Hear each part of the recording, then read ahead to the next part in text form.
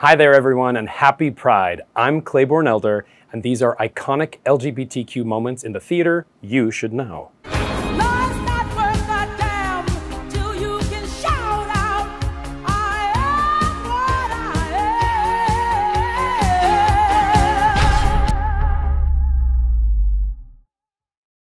This year for Pride, I've teamed up with Eric Ulloa, Roberto Araujo, and the team at Playbill, and three other LGBTQ Broadway stars to empower and uplift you each week of Pride 2022. Each week, we're coming to you with a little mini lesson about our glorious queer theatrical history. So, let's learn a little something.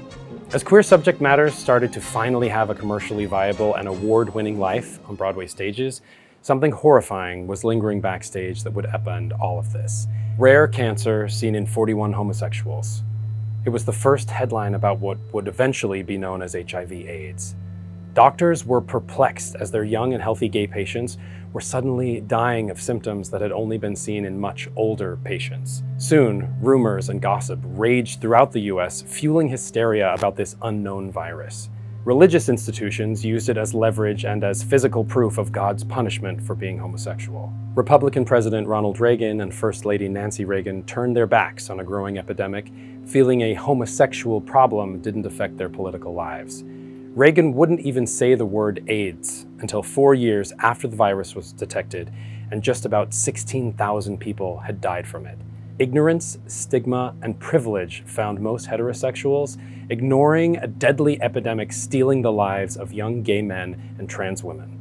And our community found itself very much alone and defenseless on a terrifying battlefield. AIDS was cutting a horrifying swath across the country, and in the Broadway and New York theatrical community, it was the tidal wave that washed away an entire generation. Cast members would arrive to their theaters finding out that their colleagues who had called out for sickness would be dead just a few days later.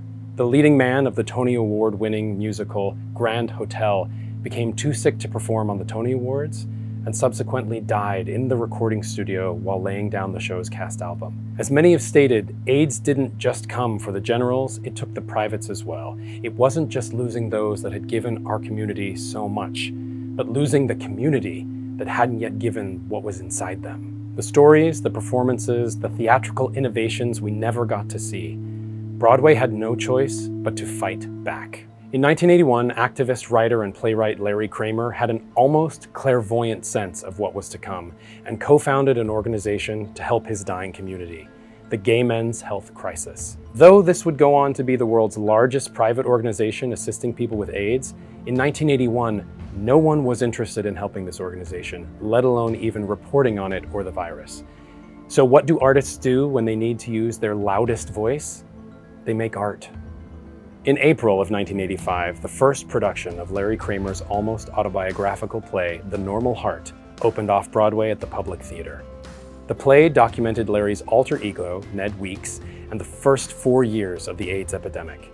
It was raw, it was intense, it was of the moment. So much so that the set designer would cross out the number of those dead from AIDS painted on the set and update it daily. In the famous words of Death of a Salesman, attention must be paid, and it finally was beginning to.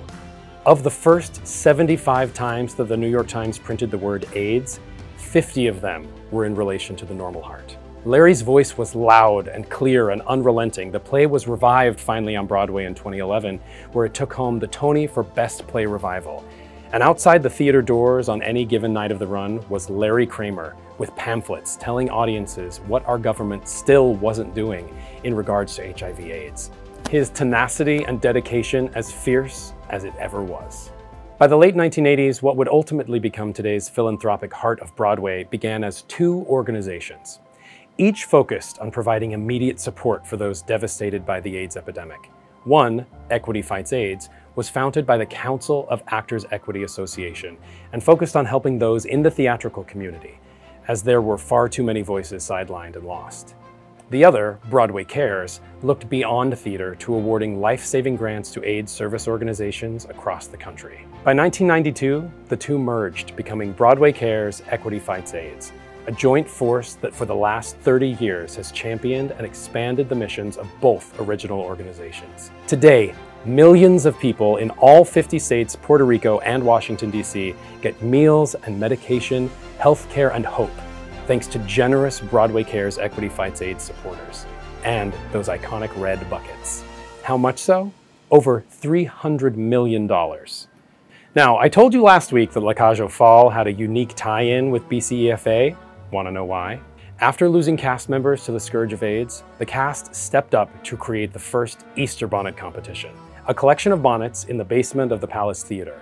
The best bonnet was determined by dropping dollars in a bucket next to each bonnet.